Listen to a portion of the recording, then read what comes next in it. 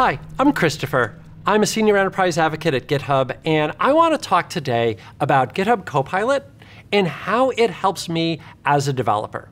You see, I became a developer because the job seemed like it was an awful lot of fun. And oftentimes it is. But there's also an awful lot of tedium. What I want to be able to do is solve the big problems and come up with unique solutions. But what I really find myself doing a lot is writing boilerplate code, dealing with obscure syntax, and having to learn an awful lot of new languages and frameworks. Copilot can eliminate the repetition. It can help keep me in the flow by reducing the number of times that I have to leave my IDE to go look something up.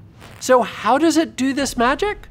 Well, let's take a look. I have here a Python Django application. And Python Django is a great web framework that's built for creating front ends to back end databases. The first thing that I need is a model, and this can be repetitive code. So using natural language, I can describe what I want. I can say create a model called speaker with name, email, and LinkedIn URL. And now we get some gray italicized text that is my code suggestion from Copilot. It's suggesting this class speaker, I hit tab to accept it, and then I notice an entire class suggestion from Copilot all based on that one sentence comment. I hit tab to accept, and now that's been built for me. Now, how does GitHub Copilot make its magic happen? Well, it's based on a training model that consists of billions of lines of publicly available code and text.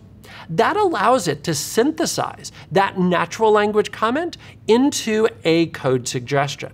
It's also able to make suggestions that follow best practices. It's a very common best practice in Django, for example, to override the string function, so that way we can get a string representation of an instance of an object. And sure enough, in that suggestion that Copilot made, it went ahead and included that.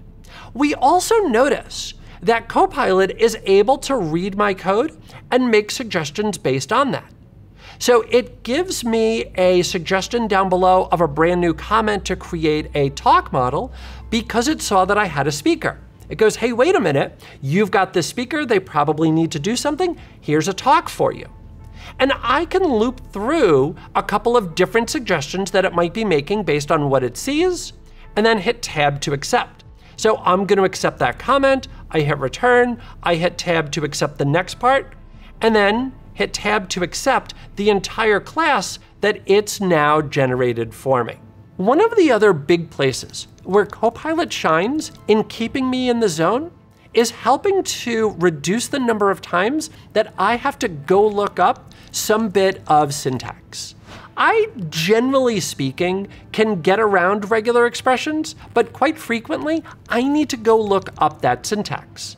But with Copilot, I can just stay in the flow. I can describe one more time in natural language what it is that I want. Let's say I want to add on a code field with a pattern of three uppercase letters, a dash, and three digits. And Copilot actually even suggested the rest of the way because it saw what it was that I was trying to do. And I hit return, and now Copilot will make a suggestion for me of a regular expression. So I didn't have to go look up that syntax. Copilot did that for me right here. GitHub Copilot works across languages and frameworks.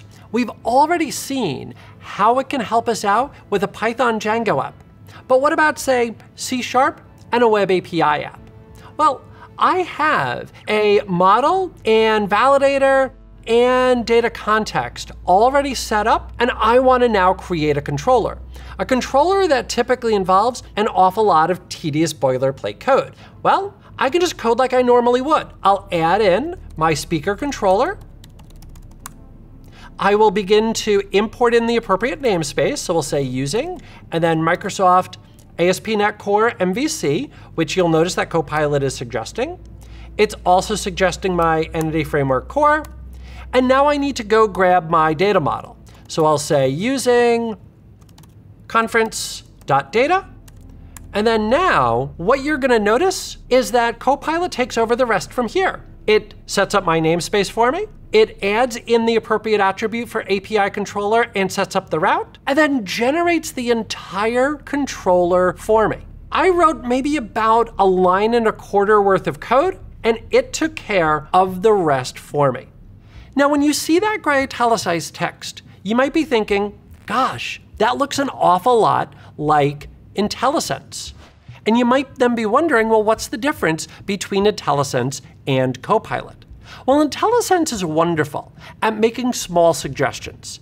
It can help remind me what the name of a variable is or help point me at a particular method. But it does require that I get a big part of the way there, that I'm already starting to write my code. But with Copilot, I was able to say in natural language, this is what I want, and get an entire class suggested for me, something which IntelliSense isn't able to do. You also might be wondering, well, what about ChatGPT? And ChatGPT is a fantastic external tool, but it's going to lack context. Copilot knew that I was creating a Django application. And the code suggestion that it made was based on that. That if we notice with our speaker class, it inherits from models.model, which is exactly what we want with a Django class. If I was using ChatGPT, I would have to go to this external tool. I would have to describe the entire scenario, the frameworks that I'm using, eventually get a code suggestion that I would then have to copy and paste over to here. Copilot meets me right where I am and in the tools that I'm already using. If you're using Visual Studio, Visual Studio Code, JetBrains, or NeoVim, there's a plugin or extension that's available to you for GitHub Copilot. And you might be wondering, does Copilot obviate developers? Is it going to obviate my job? And the answer is no. You still need to have a developer. Copilot does not generate perfect code.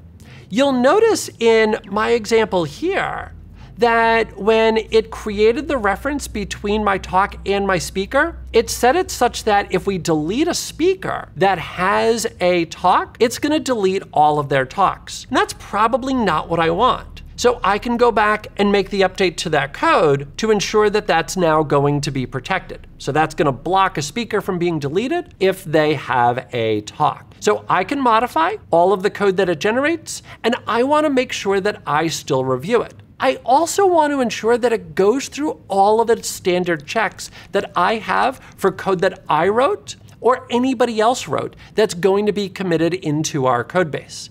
This includes our security checks, code quality checks, linting, etc. Copilot is a copilot, not a pilot. And what Copilot will do is allow me as a developer to focus in on the bigger picture. And so if we bring it back to my code one last time here, and let's say I want to register all of those objects, all of those classes that I made with the admin page, I can come over to my admin py and notice that Copilot, based on all of its training data, based on its sense of my context, starts suggesting the code that I need. So I didn't even need to add in any comments. I didn't need to write any code and Copilot made all of those suggestions for me. And we see this reflected in the survey data that we get back from developers that have access to GitHub Copilot for Business. 73% report improved job satisfaction, and 87% report a reduction in repetitive code. GitHub Copilot also just reduces the amount of all up code that I have to write by up to 46% and improves productivity by up to 55%. Of all the things GitHub Copilot for Business can do, what it can't do is replace your role as a software creator. If you want to start playing around with Copilot, you can check out that URL on the screen, which will bring you to a curated environment where you can explore the magic of GitHub Copilot for yourself.